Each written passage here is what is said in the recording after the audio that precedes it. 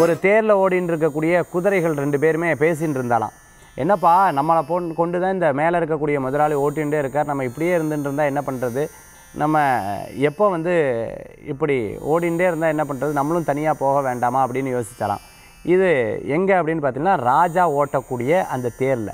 ராஜா ஓட்டக்கூடிய அந்த தேரில் இருக்கக்கூடிய ரெண்டு குதிரைகள் பேசித்தான் அப்போது அந்த குதிரை சொல்லும்பொழுது இன்னொரு குதிரை சொல்லித்தான் அப்படியெல்லாம் கிடையாது. நம்ம இன்றைக்கி நல்லா சௌகரியமாக இருந்துட்டு இருக்கோம்னா அதுக்கு இந்த ராஜா தான் காரணம். நல்லா சாப்பாடு போட்டுருக்கோம் நல்லா சௌகரியமாக இருந்துட்டுருக்கோம் அதனால் பேசாமல் இங்கேயே இருந்துடலாம் சொன்னால் கேளு. நீ வேணால் இங்கேயே இரு நான் ஓடிடுறேன் அப்படின்னு சொல்கிறாராம் சரி அப்போ உன் வழி நீ பார்த்துக்கோ அப்படின்னு சொல்லும்போது அந்த குதிரையை தேர்லேருந்து இறக்கி கட்டி வைக்கும்போது ஒரு குதிரை மட்டும் ஓடி எடுத்தான் அப்படி ஓடி போயிட்டு கொஞ்சம் தூரம் போயிருக்கு. ஒரு நபர் இப்படியே பார்த்துருக்கார். அந்த காட்டில் இருக்கக்கூடிய ஒரு நபர் அந்த குதிரையை பிடிச்சி வச்சுட்டார்.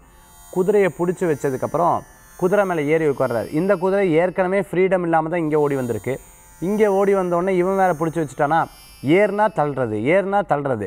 சரி இது எப்படியாவது ப்ராக்டிஸுக்கு கொண்டு வரணும் அப்படின்னு சொல்லிட்டு இந்த கொடு இந்த குதிரையை வந்து நாலஞ்சு நாள் கட்டி வச்சுட்டான். குதிரை பார்க்குறது ஐயோ என்னடா பண்ணுறது இப்படி வந்து நம்ம இருந்துட்டோமே. ஃபஸ்ட்டு அதை யோசிச்சு தான் நம்ம அரண்மனையில் எப்படி இருந்தோம்? ச்சே ராஜா வீட்டில் நேரத்துக்கு சாப்பாடு கிடச்சிது. நேரத்துக்கு நம்ம தட்டி கொடுத்தா ராஜா வந்து டெய்லி நம்மளை வந்து கொஞ்சினர். இன்றைக்கி இப்படி வந்து அகப்பட்டுட்டோமே இவன் அடி அடி அடிக்கிறானே நான் என்ன பண்ணுறது அப்படிங்கிறத யோசிச்சு தான் கொஞ்ச நேரம் கழித்து திருப்பியும் பார்த்துட்டா இந்த நபர் வந்து உன்னை பட்னி போட்டால் தான் லாய்க்கு வரும் சொன்னால் கேட்க மாட்டேன் அப்படின்ட்டு பட்னி போட்டுறான். நேராக நேரத்துக்கு நம்ம சாப்பிட்டோமே பட்னி போட வச்சுட்டானேன்னு ரொம்ப வருத்தப்பட்டு தான் அதுக்கப்புறம் இன்னும் கொஞ்சம் நேரம் கழிஞ்சு தான் இந்த குதிரை மேலே ஏறி உட்காந்தோடனே ரெண்டு வெளு வெளுத்தானான் ரெண்டு வெளு நம்மளை அடித்ததே கிடையாது இது வரைக்கும். யாராவது நம்மளை அந்த வெயிட் பண்ணுறவன் வந்து அடித்தா கூட ராஜா உடனே அதை அடிக்கக்கூடாது. அழகாக அதை மெயின்டைன் பண்ணு அப்படின்னு சொல்லுவார். இன்றைக்கி என்ன நம்ம இந்த அடி அடிக்கிறானே தப்பு பண்ணிட்டோம் தப்பு பண்ணிவிட்டோம்னு சொன்னாராம். ஒத்த குதிரை ஓடனோடனே இன்னொரு குதிரை வந்து பார்த்திங்கன்னா இந்த குதிரை ஓடலைன்னு சொல்லி அதற்கு இன்னும் சாப்பாடு அதிகமாக போட்டு இன்னும் அதை ரொம்ப பார்த்துக்கிட்டாராம்.